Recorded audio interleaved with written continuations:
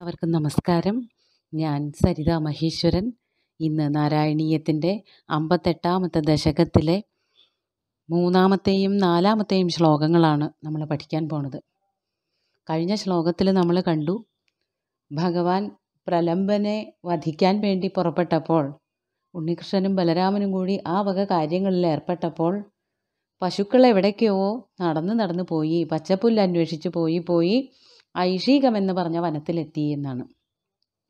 അവിടെ എത്തിയപ്പോഴാണ് ഇനി കാട്ടുതീയിന്റെ വരവ് നമ്മൾ കാണാൻ പോണത്. അതാണ് മേൽപ്പത്തൂർ അടുത്ത ശ്ലോകത്തിൽ നമുക്ക് വർണിച്ച് കാണിച്ചു തരുന്നത്. മൂന്നാമത്തെ ശ്ലോകം നോക്കൂ.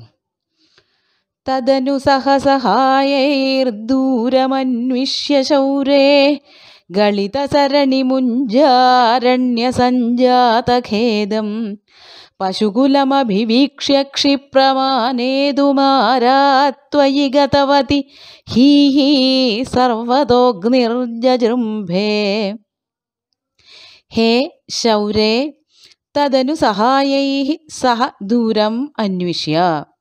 हे शौरे। ശൗരേ എന്ന് പറഞ്ഞാൽ ഭഗവാനെയാണ്. ശൂരകുലത്തിന്റെ ശൂരസ്യ അപത്യം പുമാൻ ശൗരി ഭഗവാനെയാണ് ഉദ്ദേശിക്കുന്നത്.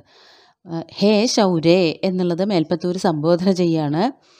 ഹേ ഗുരുവായൂരപ്പ തദനു സഹായൈ സഹ ദൂരം അന്വിഷ്യ. ഭഗവാനെ അതിനുശേഷം അനന്തരം സഹായൈ സഹ സഹായികളോട് കൂടിയിട്ട് മറ്റ് ബാലകന്മാരോട് കൂടിയിട്ട് ദൂരം അന്വേഷ്യ. വളരെ ദൂരം അന്വേഷിച്ചു പോയി. എവിടെയാണ് ഈ പശുക്കളൊക്കെ എങ്ങടാ പോയത് എന്നറിയാതെ ഭഗവാനും കൂട്ടുകാരും കൂടിയിട്ട് അന്വേഷിച്ച് നടന്നിട്ട് ദൂരം അന്വേഷ്യ. കുറേ ദൂരം പോയി. എവിടെയാണ് പോയതെന്നൊന്നും കാണാനില്ല. അടുത്ത പ്രദേശത്തൊന്നുമില്ല. അങ്ങനെ പോയിട്ട് ഗളിത സരണി മുഞ്ചാരണ്യ സഞ്ജാതഖേദം പശുകുലം അഭിവീക്ഷ്യ. അങ്ങനെ കുറേ ദൂരം പോയപ്പോഴാണ് ഇവർക്ക് മനസ്സിലായി പശുക്കൂട്ടങ്ങൾക്ക് വഴി തെറ്റിപ്പോയിട്ടുണ്ട്. അതാണ് ഗളിത സരണി. വഴി പിഴച്ച് വഴി തെറ്റിയിട്ട് മുഞ്ചാരണ്യ സഞ്ജാതഖേദം മുഞ്ചാരണ്യത്തിൽ മുഞ്ചാരണ്യം എന്ന് പറഞ്ഞാൽ മുഞ്ച എന്ന് പറഞ്ഞാൽ കഴിഞ്ഞ ദിവസം പറഞ്ഞ ഇഷീകങ്ങൾ എന്ന പുല്ലിന്റെ മറ്റൊരു പേരാണ് മുഞ്ച. മുഞ്ചാരണി മുഞ്ചാരണ്യം എന്ന് പറഞ്ഞാൽ ഐഷീകവനം. ആ വനത്തിലേക്ക് എത്തി എന്ന് മനസ്സിലാക്കിയിട്ട് അവരവിടെ കിടന്ന് ദുഃഖിക്കുകയാണ്. എന്ന് വെച്ചാൽ വഴിയറിയില്ല. അവരുടെ മേച്ചിൽക്കാരെ ഗോപബാലകന്മാരെ കാണാനില്ല ഭഗവാനെ കാണാനില്ല എന്നുള്ളതുകൊണ്ടൊക്കെ ദുഃഖിതരായിരിക്കുന്ന പശുക്കൂട്ടങ്ങളെ കണ്ടിട്ട്. അതാണ് ഗളിത സരണി മുഞ്ചാരണ്യ സഞ്ജാതഖേദം അങ്ങനെ വഴിതെറ്റിപ്പോയി പുൽക്കാട്ടിൽപ്പെട്ട് ഉഴലുന്ന ആ പശുക്കൂട്ടത്തെ കണ്ടിട്ട് പശുകുലം അഭിവീക്ഷ്യ. ക്ഷിപ്രം ആനേതും ത്വയി ആരാത് ഗതവതി. ആ കാട്ടിൽ നിന്ന് വേഗം പശുക്കളെ തെളിച്ച് വൃന്ദാവനത്തിലേക്ക് കൊണ്ടുവരാൻ വേണ്ടിയിട്ട് ക്ഷിപ്രം ആനേതം വേഗം തന്നെ ആ കാട്ടിൽ നിന്ന് വൃന്ദാവനത്തിലേക്ക് കൊണ്ടുവരുവാൻ ത്വയി ആരാത് ഗതവതി. അങ്ങ് വേഗം പോയപ്പോൾ ആ പശുക്കൂട്ടങ്ങളുടെ അടുത്തേക്ക് ഭഗവാൻ പോയപ്പോൾ ആരാത് എന്ന് പറഞ്ഞാൽ അടുത്തേക്ക് എന്നുണ്ട് ദൂരത്ത് നിന്ന് രണ്ടർത്ഥമുണ്ട്. ഇവിടെ പശുക്കൂട്ടങ്ങളുടെ അടുത്തേക്ക് പോയപ്പോൾ സർവത അഗ്നിഹി ജജൃംഭേ ഹീ ഹീ. അങ്ങനെ പശുക്കുട്ടികളുടെ അല്ലെങ്കിൽ പശുക്കളുടെ അടുത്ത് ഭഗവാൻ എത്തിയപ്പോൾ എന്ത് സംഭവിച്ചു? ചുറ്റുപാടും കാട്ടുതീയ് വളരെയധികം വന്ന് പടർന്നു പിടിച്ചു. അതാണ് സർവതഹ. സർവതഹ എന്ന് പറയുമ്പോൾ ചുറ്റും ആണ്. അപ്പോൾ പുറത്തേക്ക് പോവാൻ തീയിന്റെ അകത്ത് നിന്ന് തീയ് പടരുന്നതിൽ നിന്ന് പുറത്തേക്ക് ഓടാൻ ഒരു മാർഗവുമില്ലാതെ ചുറ്റും തീ പടർന്നു പിടിച്ചു. സർവതഹ അഗ്നിഹി ജജൃംഭേ. ജജൃംഭേ എന്ന് വെച്ചാൽ പടർന്നു പിടിച്ചു വർദ്ധിച്ചു വന്നു. ഹി ഹി എന്ന് പറയുന്നതിന് കഷ്ടം തന്നെ എന്നാണ് അർത്ഥം. ഇനിയും മേൽപ്പത്തൂര് ഹീ ഹീ എന്നുള്ള പദം ഹീ ഹീ മേ ദേഹമോഹം. കഷ്ടം തന്നെ എനിക്ക് എന്റെ ശരീരത്തിനുള്ള ശരീരത്തിനോടുള്ള ആഗ്രഹം നോക്കൂ എന്ന് പറഞ്ഞിട്ട് അവസാനത്തെ ദശകങ്ങളിലൊക്കെ നമുക്ക് കാണാം. ഹീ ഹീ എന്നുള്ളത് കഷ്ടം എന്നുള്ള അർത്ഥത്തിലാണ് ഇവിടെ പ്രയോഗിച്ചിരിക്കുന്നത്. അങ്ങനെ രണ്ട് തവണ പ്രയോഗിക്കുന്നത് വളരെയധികം കഷ്ടമാണ് എന്നുള്ളത് കാണിക്കാൻ വേണ്ടിയിട്ടാണ്. അങ്ങനെ പശുക്കൂട്ടങ്ങളുടെ അടുത്തേക്ക് ഭഗവാൻ പോയപ്പോൾ ആ കാട്ടിലാകെ തീ പടർന്നു പിടിച്ചു എന്നാണ് പറഞ്ഞു നിർത്തിയത്. അപ്പോൾ എവിടെയാണ് തീ പടർന്നത്? പശുക്കൂട്ടങ്ങൾക്കും ഭഗവാനും ചുറ്റുമായിരുന്നോ? ഭഗവാൻ പോന്നപ്പോൾ ആ ഗോപബാലകന്മാർക്ക് ചുറ്റുമായിരുന്നോ എന്നുള്ളത് വ്യക്തമല്ല. പക്ഷേ നമുക്ക് ഇവിടെ വായിക്കാൻ പറ്റണത് ഇവർക്ക് എല്ലാവർക്കും ഇപ്പോൾ പശുക്കൂട്ടങ്ങളെ അവിടെ നിന്ന് തെളിച്ചും കിടാക്കുന്നതിന് ഭഗവാൻ മാത്രമല്ല പോയിട്ടുണ്ടാവുള്ളൂല്ലോ. അവരെ കണ്ടപ്പോൾ പശുക്കൾ ഇവിടെ വഴി കാണാതെ ദുഃഖിച്ച് നിൽക്കുന്നത് കണ്ടപ്പോൾ ആ പശുക്കുട്ടികളെയും പശുക്കളെയൊക്കെ തിരിച്ചു കൊണ്ടുവരാൻ വേണ്ടിയിട്ട് വൃന്ദാവനത്തിലേക്ക് കൊണ്ടുവരാൻ വേണ്ടിയിട്ട് ഉണ്ണികൃഷ്ണനും അതിന്റെ ഒപ്പം തന്നെ ഗോപബാലകന്മാരും അവിടെ പോയിട്ടുണ്ടാവും. അവിടെ പോയപ്പോഴാണ് അവർക്ക് ചുറ്റും അഗ്നി പടർന്നു പിടിച്ചത്. അപ്പോൾ അവർക്ക് എല്ലാവർക്കും ചുറ്റും തന്നെ ആവണം അഗ്നി പടർന്നു പിടിച്ചത്. വനമാല വ്യാഖ്യാനത്തിൽ പറയുന്നുണ്ട് ഭഗവാൻ അവിടെ നിന്ന് പോയപ്പോൾ ഗോപകുമാരന്മാർക്ക് ചുറ്റുമാണ് അഗ്നി പിടിച്ചിട്ടുണ്ടാവുക എന്ന്. പക്ഷെ അതിനേക്കാൾ കുറച്ചും കൂടി നല്ലതായിട്ട് തോന്നുന്നത് ഇവരെല്ലാവരും കൂടിയിട്ട് മുഞ്ചാടവിലേക്ക് പോയപ്പോൾ ഐഷീകവനത്തിലേക്ക് പോയപ്പോൾ അവർക്ക് ചുറ്റും അഗ്നി പടർന്നു പിടിച്ചു എന്നർത്ഥം. ഇനി കാട്ടുതീ വന്ന് പടർന്നു പിടിച്ചപ്പോൾ എന്താണ് ഉണ്ടായത് എന്നുള്ളതാണ് നാലാമത്തെ ശ്ലോകത്തിൽ മേൽപ്പത്തൂര് വർണിക്കുന്നത്. ശ്ലോകം നോക്കൂ. सकलहरिति दीप्ते घोरभाङ्कारभीमे शिखिनि विहतमार्गा अर्धदग्धायि वार्ता।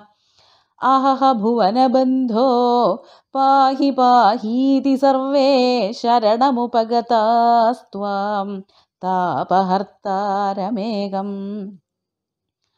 घोरभाङ्गारभीमे शिखिनि സകലഹരിതി ദീപ്തേ.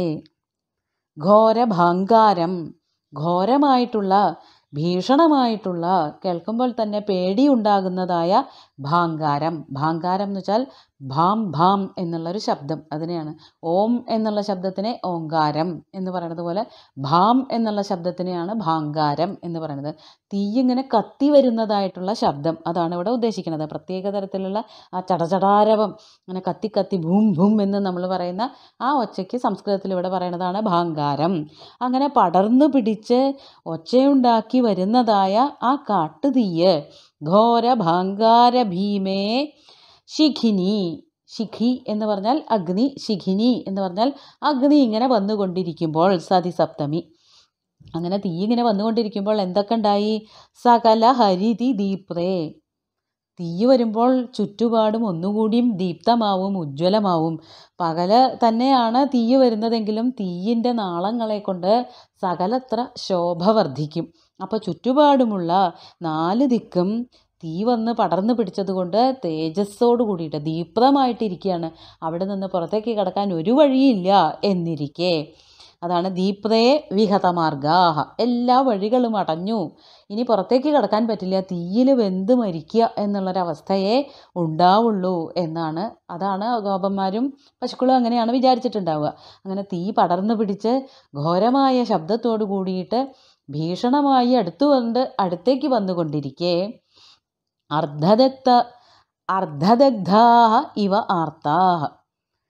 അവരെല്ലാവരും ആർത്തന്മാരായി ദുഃഖിതരായി ദൈന്യത്തോടു കൂടിയിട്ട് നിലവിളിക്കാൻ തുടങ്ങി. അവരെങ്ങനെയായി തീർന്നു? അവരുടെ അവസ്ഥ അർദ്ധദഗ്ധാഹ ഇവ.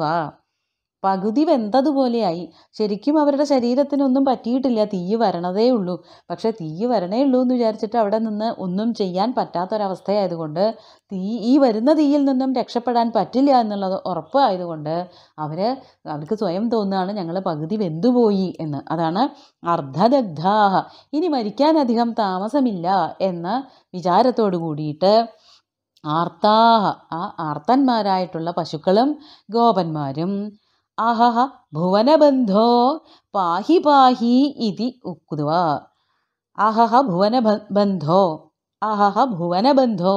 അയ്യയ്യോ ഭഗവാനെ ലോകത്തിനു മുഴുവനും നാഥനായിട്ടുള്ളവനെ ലോകത്തിനു മുഴുവനും ബന്ധുവായിട്ടുള്ളവനെ ഗുരുവായൂരപ്പ അങ്ങ് തന്നെ ഞങ്ങളെയൊക്കെ രക്ഷിക്കണേ. പാഹി പാഹി ഇതി.